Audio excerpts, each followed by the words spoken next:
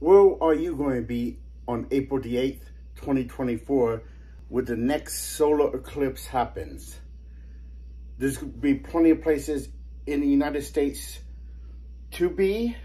I am planning on being in New Castle, Indiana. Hi, my name is Robert McMurrer.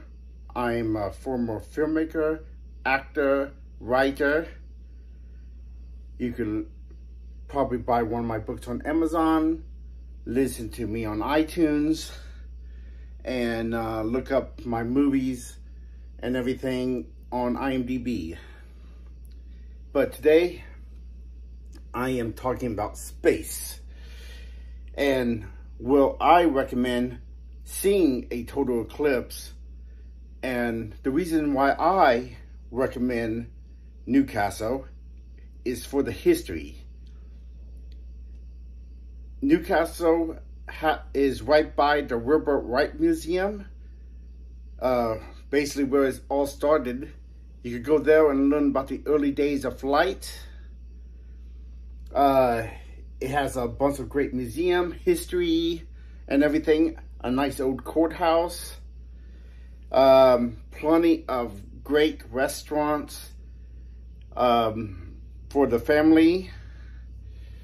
Um, yeah, I always love going out to eat here.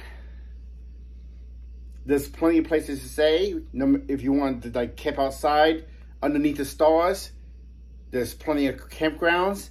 And if you just want a regular room, New Castle and the surrounding areas have some terrific hotel rooms to stay at. And I'm sure you can look up a B&B. And um, yeah, there's plenty of stuff to do going towards the solar eclipse and away from the solar eclipse. Um, and this area is perfect for stargazing. There's plenty of open fields where you could just take a nice telescope on one of the nights you are here, aim it for the sky, and just look out the different stars and planets. So yeah, if you are already making plans on where you going to be for the next solar eclipse, I recommend New Castle, Indiana. And yeah, who knows? You might run into me. and on the subject of space, I also recommend joining the Planetary Society. As a member of the Planetary Society for several years, all your money goes to a great cause and it's, um, yeah, and you get to learn about new technologies and facts about space.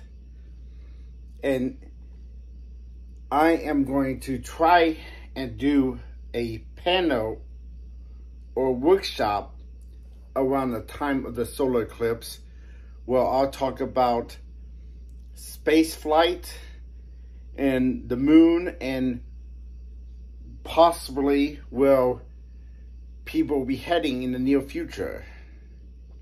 I might gave up on the entertainment industry, set that on the back burner, but I am currently a maker, more focused on robotics and machine learning so I might have some stuff set up to sew off. Again, I'll see you April 8th, 2024 for the next solar eclipse.